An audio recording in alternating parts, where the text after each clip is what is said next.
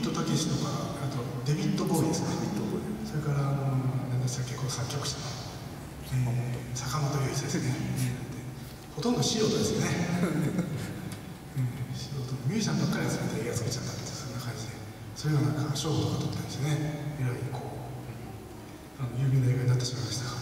あの映画のテーマは一体何だったんですかね。戦争悲惨さなのか。えー、まあ、あのなんですかね、